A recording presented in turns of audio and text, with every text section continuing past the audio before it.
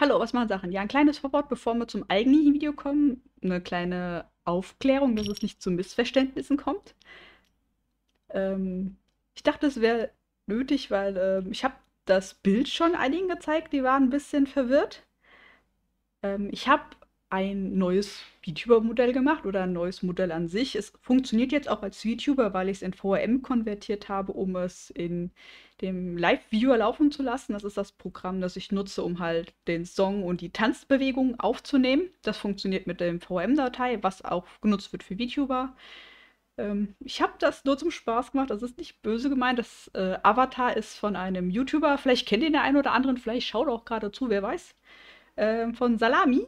Er hat so einen lustigen kleinen Avatar, so ein kleines Maskottchen, so ein belegtes Salami-Brötchen.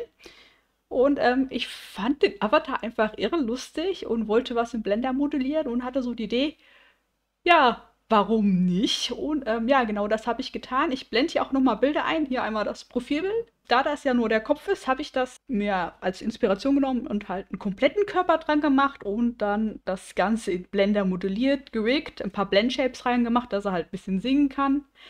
Und dann halt mit Unity in das VM-Format konvertiert und in das Programm VM Live Viewer gemacht, dass er ein bisschen singen und tanzen kann. Weil ich die Idee einfach lustig finde. Und ähm, wie gesagt, das ist nicht mein Avatar. Ich gebe den Avatar nicht weiter, außer an den YouTuber, weil es ja quasi sein Maskottchen ist, wenn er es denn haben möchte. Ähm, nicht, dass es hier zu Verwirrungen kommt. Das ist nichts, was ihr von mir so erhalten werdet, wie den Slime zum Beispiel oder halt alles andere, alles, was ihr quasi erwerben könnt, entweder über meinen Buff-Kanal. Demnächst will ich ein bisschen gucken, dass man auch über Twitch-Punkte sich ein paar Modelle kaufen kann oder erarbeiten kann.